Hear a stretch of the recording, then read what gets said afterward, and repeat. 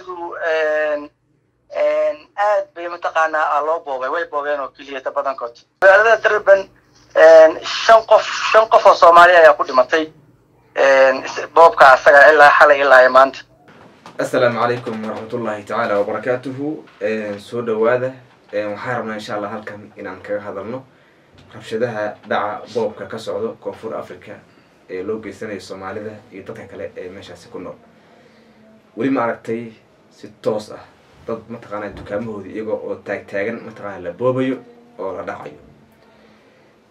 Dalka koonfur africa waxaynu la wada soconnaa in soomaali badan oo ganacsato ah in halkaasi ay ku nool yihiin. Balse inta badan ay kala kulmaan soomaalida halkaasi ku nool dhac dil boob intaasoo dhan ay kala kulmayeen waayadii u dambeeyey inkasta oo dadka soo galootiga ah sida soomaalida ee arrintaasi ay ku badneed balse maanta xaaladdu sidii hore way ka duwantaha wayna ka darantahay waxaa socdo boob kaasi oo mataqaana ka socdo guud ahaan dalka gaar ahaan durban iyo johannesburg iyo mataqaana aad yuu ugu badan yahay. Xaaladdu meel adag bay mataqaana ayay mareysaa dadka ku nool soomaalida ku nool jaaliyadda halkaasi ku nool ayaa mataqaana waxa ay sheegayaan in naftooda meel u baxsadaan ay la-yihiin waayo dadkii dhibaatada geysanaya mudaharaadayay ayaa mataqaana hadda waxa ay ku dhow yihiin in ay soo galaan guryaha. Guryihii dadka degnaa in iskuu soo galo iyo hadda mataqaana ayay taagan tahay xaaladdu. Marka xaaladdu meel adag bay mataqaana hadda ayay mareysaa sidii hore maha way ka duwan tahay. Mar aan la hadalnay nin ka mid ah jaaliyadda koonfur africa axmed cawil ayaa waxa uu noo sheegay in xaaladda dalka ay meel xun ay mareyso boob badanna uu socdo. Hadalkiisana waxaa ka mid ah. Walaal waan dhowahay aad iyo aad baad umahadsan tahay waan ku dhowahay ka waran xaaladda guud ahaan dalka koonfur africa walaal xaaladda koonfur africa aad bay u qasan tahay dowladdiina hawlihii way ka gaabisay oo shacabkii baa soo fasax la soo fasaxay.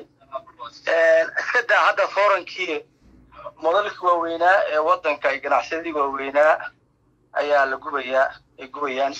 Waddooyinkii bay xidheen. Ilaa iyo shalayto ilaa iyo maanta waxay gubeen ilaa iyo toddoba boqol oo mataqaana track oo ma garanaysaa bangiya u shaqeynaya kambaniyaal waaweyn. Dukaamadii yaraa ee mataqaana ku yaalla johannesburg korkeeda ilaa iyo soweto ilaa iyo area areadaas dhanna maaragtay cagtay mariyeen.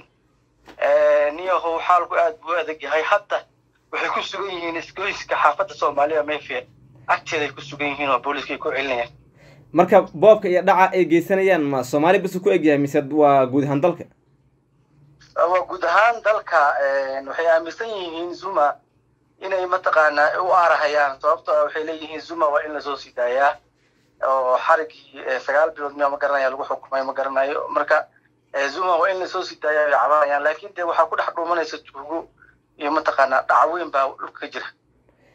Meelaha u dardaran ee hadda mataqana ay wax ka dhaceen waa xaggee waa xaafadda johannesburg town downtownka aad baa ma garanaysaa u gubeen noloshii iyo ma garanaysaa ganacsadii yarka ahaa. Ilaa iyo soweto hadda soweto oo kale moolka ku yaalla shoprite deben oo kale deben iyadu way baaba'dayba magaalada durban shopriteyadeedii hantidii hantidii waaweyneed oo dhanba way baaba'day iska daa kuwa foranka ee yaryarka ee dukaamadii waaweynaa ee ma garanaysaa shoprite oo kale picam bay oo kale iyo all way baabi'iyeen dadka soomaalida ee halkaas ku sugan see wax u soo gaareen iyaga khasaare khasaare intee leeg baa soo gaaray soomaalida khasaaraha ugu badan ee soo gaaray hadda wax dhimasho ama maqal laakiin soomaalidu aad bay mataqaanaa loo boobay way boobeen oo keliyata badankood marka jaaliyadda soomaalida ee ku sugan koonfur africa waxaa lii sheegayay magaalada durban shan qof shan qof oo soomaali ayaa ku dhimatay boobka asaga ilaa xalay ilaa maanta ka jaalid ahaan idinka hadda maxaa idin qorshaysan? Maadaama haddii dalkii waxas ka socdo ogtihiin horeyn dhibaato badan idinku geystay. Walaalow dee dad qaxooti oo maaragtay ku nool waddankan baan ahayn wax qorsho oo aan hayna ma laha. Ilaa iyo amar dambe hadda nafta meel la geeyaa bay oo guri hadda inay soo galaan bay joogaan. Xaafadihii magaalada moolkii dukaamadii way soo dhamaysteen hadda waxaa laskaga daba imaaday xaafadihii soomaalida aan deganayn marka dee halkan baan difaac kaga jirnaa naftarka annaga oon mataqaanaa aan de sidaan isku difaaci karna sidaan isku difaaci karna aan ku jirnaa. Private business yaasha waaweynna hadda waxaa maxaan maqlahayba ciidan hubaysan oo security ayaa ilaalinaya. Marka kolleyda xaalka insha allahu tacaala waxaan rajaynaynaa inuu sidan soo dhaami doono ilaa iyo ilaa iyo beri dambe. Dowladduna ay war ka soo saari doonto. Haddii intaasi aan kaga soo laabano muwaadinkaas soomaaliyeed ee ku sugan dalka koonfur africa noogana warbixinayay xaaladihii u dambeeyey ee dalka. Markii zuma lagu soo eedeeyey in musuq maasuq in uu geystay dalka kadibna lagu xukumay dhowr bilood in dadkii raacsanaa isaga in ay aad ay u kaceen kaasi oo weliba dadkii ku noola halkaa iyada ah ay u geysanayaan dil iyo dhac boob wax la deenaya mataqaana aysan jirin. Marka hadda dadkii amnigoodiibaa mataqaanaya khalkhal ku jiro. Awal waxa laga fikray waxay ahayd waa hanti. Hanti baa la boobay bay mataqaanaya ahayd laakiin maanta waxay taagan tahay guud ahaanba dalka. In dadka noolaashihii qaabka u noolaan lahaayeen in dhib mataqaana uu ka taagan yahay dhib badanna uu ka jiro. Markaa la sheekaysato dadka ku sugan gudaha dalka waxa ay ku sheegayaan in ay jirta cabsi aada u badan.